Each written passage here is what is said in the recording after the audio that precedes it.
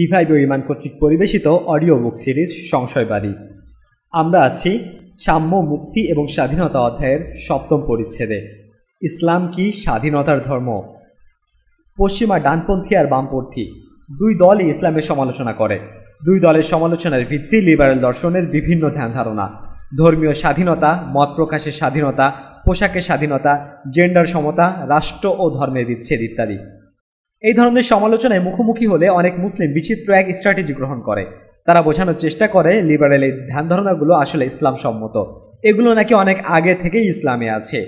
ইসলাম এগুলোকে সমর্থন করে ইত্যাদি। এটা একটা লুজিং স্ট্র্যাটেজি এভাবে কখনো জেতা সম্ভব না। হ্যাঁ ইসলামী শরিয়া এবং মূল্যবোধ কিছু কিছু দিকের সাথে লিবারেলের এসব ধারণার দিক কিছু মেলে।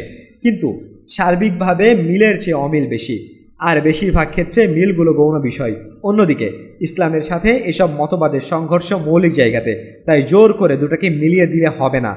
এছাড়া স্ট্র্যাটেজি হিসেবে এটা যাচ্ছে তাই। মুক্ত চিন্তা, ধর্মীয় স্বাধীনতা, মত প্রকাশের স্বাধীনতা, পোশাকের স্বাধীনতা জেন্ডার সমতা, বৈবাহিক সমতা যাবতীয় লিবারেল ধ্যান ধারণা মুসলিমরা মেনে নিলেও শেষ রক্ষা হবে না।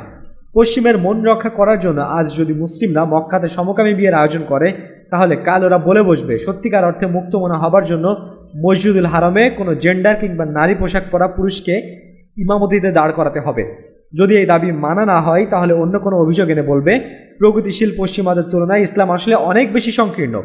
এটাই প্রগতিশীলদের বাস্তবতা।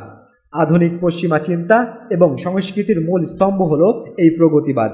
এই দর্শন অনুযায়ী ক্রমাগত পরিবর্তন ভালো এবং জরুরি। পরিবর্তন না হওয়া মানে পিছিয়ে যাওয়া। ইতিহাসের স্রোতে ভুল দিকে চলা। প্রগতিবাদের এই দর্শন সরাসরি ইসলামের সাথে সাংঘর্ষিক। মুসলিম হিসেবে আমরা বিশ্বাস করি সবচেয়ে ভালো সময় ছিল রাসুল্লাহ সাল্লু আলহিউসাল্লামের সময়। সবচেয়ে উত্তম প্রজন্ম ছিল ইসলামের প্রথম তিন প্রজন্ম। সবচেয়ে ভালো যুগ ছিল তাদের যুগ। তারপর থেকে ধারাবাহিকভাবে অবনতি হচ্ছে। কে বেশি প্রগতিশীল, কে বেশি স্বাধীন, তা প্রমাণ পশ্চিমা দর্শন ক্রমাগত নিজেদের মধ্যে প্রতিযোগিতা করে। আমরা মুসলিমরা কখনো এই প্রতিযোগিতায় জিততে পারব না। আর আমাদের দরকারও নেই। এমন পাতানো খেলাই যাবারই প্রয়োজন নেই। তাহলে আমাদের স্ট্র্যাটেজি কি হওয়া উচিত?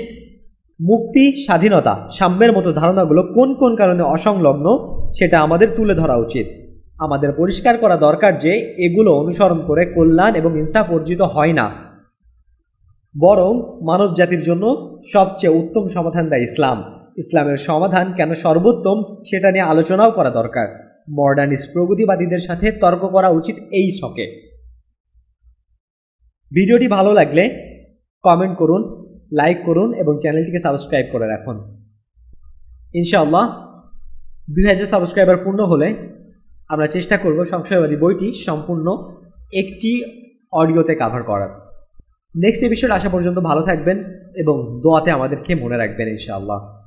السلام عليكم ورحمة الله وبركاته.